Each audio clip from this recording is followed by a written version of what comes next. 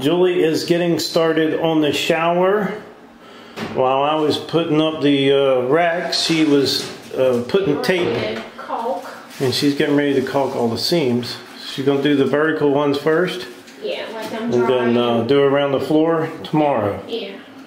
So, got to get this stuff ready. It's not going to be long. We're going to have to move in. All right, we're getting ready to put the caulk in the shower, and this is 100% silicone.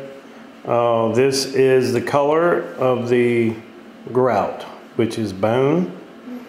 Uh, this should be some really good stuff. We got it when we got the grout, so it would match up.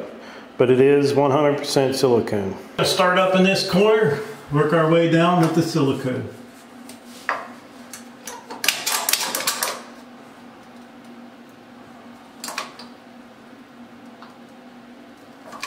Maybe.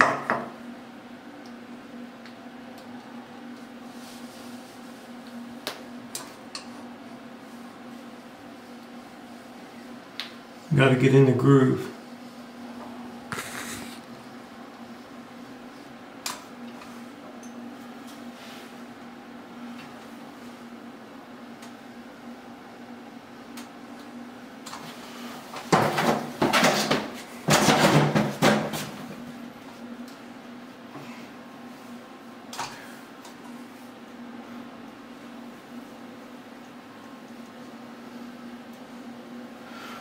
There we go. Now we're starting to move along.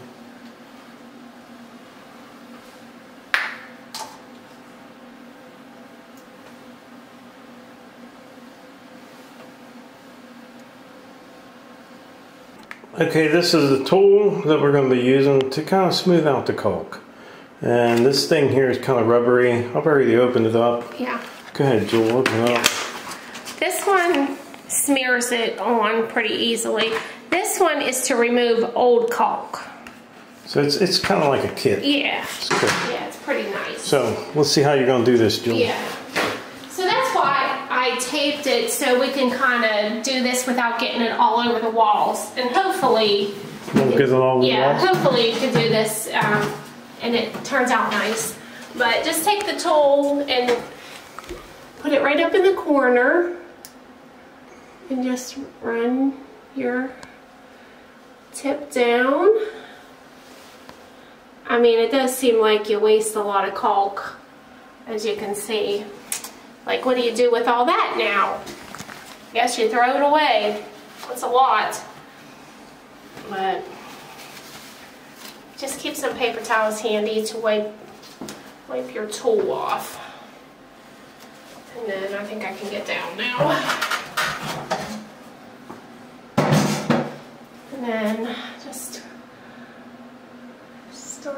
Back in the corner.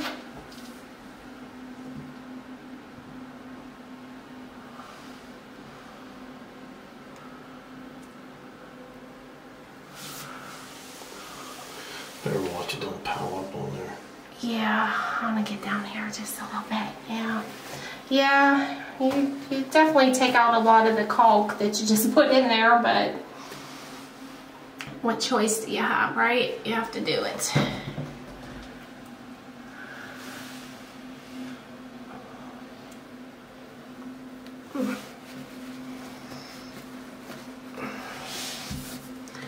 I'm gonna start up, start at the floor and go up from here because that's kind of hard once you get down to the bottom there.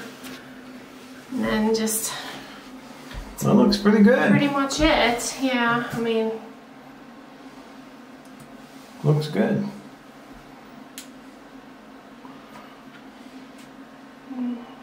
One thing about it, when you start and restop, that's when it yeah, that's when you mess it up and it doesn't, you know, you try to start it and Now, when will you Now take you that could tape off? take your finger, you know, obviously you don't have to have any fancy tools. You can just use your finger to do it too. If Julie but- used her finger, it's too small. It takes Yeah. all of that. yeah.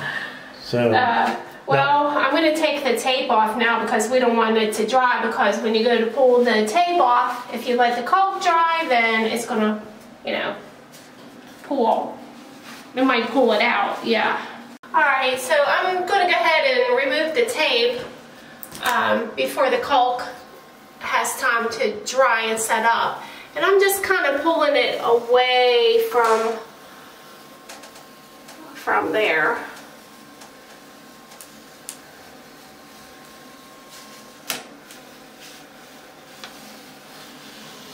And you don't even have to tape it if you don't want to, but like I said, you get a little bit of a neater caulk line if you do.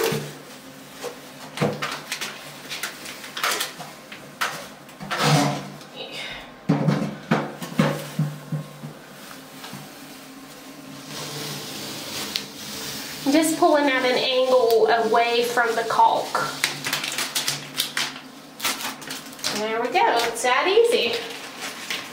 So we're just gonna finish this up, the corners, and then I'm gonna let this dry real good overnight, and then tomorrow I'll come in and I'll tape off around the bottom and get that uh, sealed. Yeah, just pull away.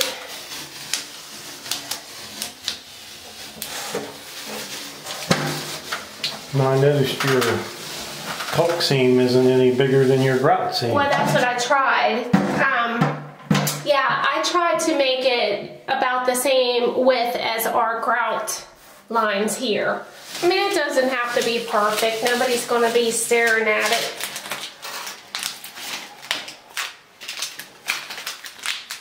So, we'll get you back here after I get all the seams done. Show you what it looks like. Okay, well as you can see, we got all the caulking done. Everything's done in the shower.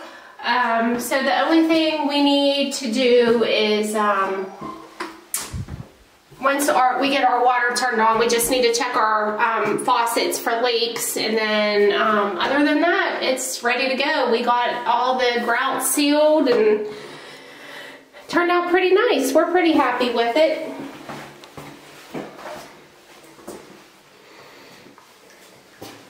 especially for the first time, you know, laying tile. I think we did a pretty good job. I think so too.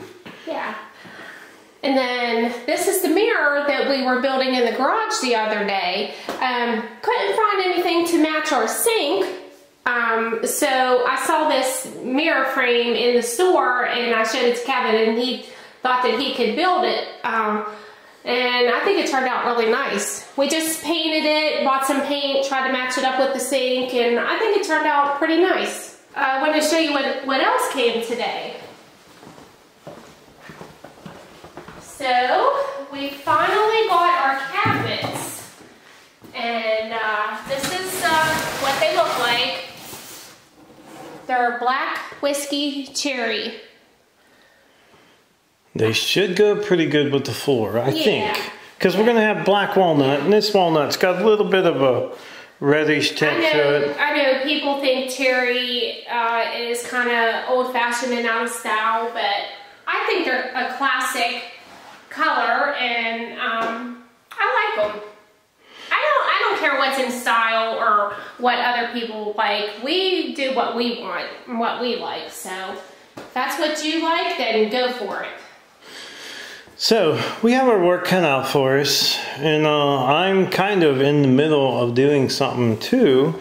I thought these cabinets ended up coming earlier. I thought for sure I had a little bit more time, but I've been working on the radiant heat, and uh, that's been a job.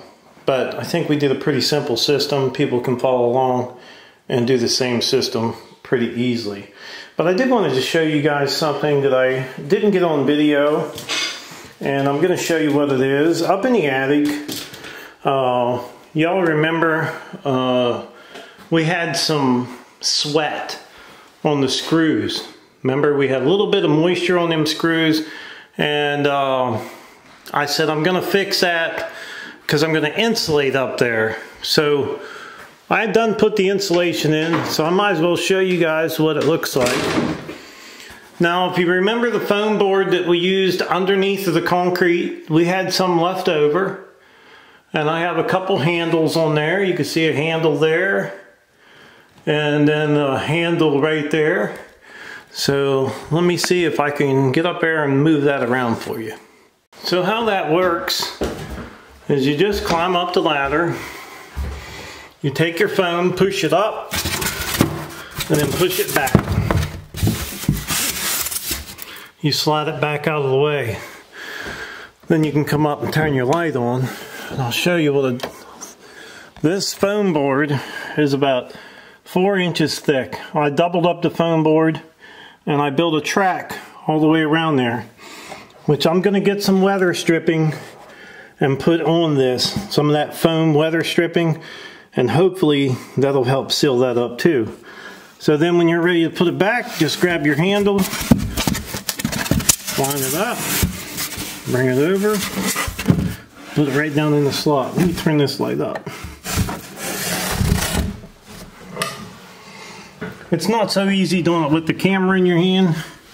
Bring it across, there's a slot over here, slide it in there, pull your handles down, and voila, we have insulation.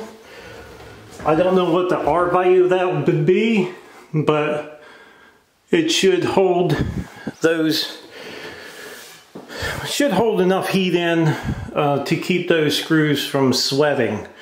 I didn't like that, but now it's fixed. And that was just scrap insulation board. So we'll go ahead and put this back up.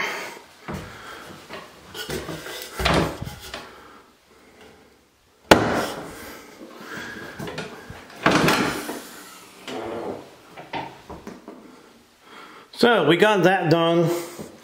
And like I said, I'm working on this system here. It's almost done. And I'm making a video on it by itself. But we have been tidying up a lot. Uh, there's not much more to go. We still haven't got the uh, black walnut off the sawmill. But it's coming. It's just taking us time, that's all. So, that's a little update on uh, what's going on here at the Rusty Rooster Homestead. I would like to tell everybody thanks for watching the video. Don't forget to subscribe. Leave me thumbs up, thumbs down, or a comment if you'd like. Until next time.